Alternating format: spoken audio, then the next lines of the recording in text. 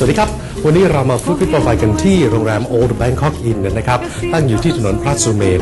โรงแรมแห่งนี้นั้นนะครับถือว่าเป็นโรงแรมขนาดเล็กเนี่ยที่เราเรียกกันว่าเป็น boutique inn หรือ boutique hotel ทั่วไปก็ได้นะครับ เพราะสถานที่แห่งนี้เนี่ยนะครับตกแต่งภายใน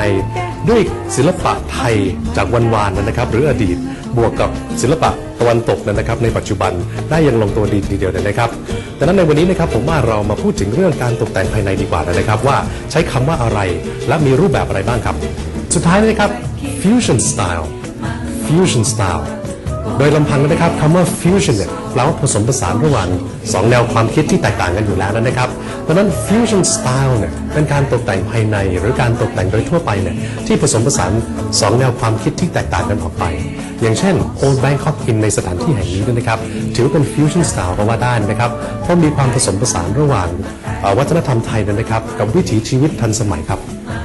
วันนี้เวลาของเราหมดแล้วนะครับ พบกันทุกวันจันทร์ถึงวันศุกร์ทางมอร์นไนทีวีนะครับ สวัสดีครับ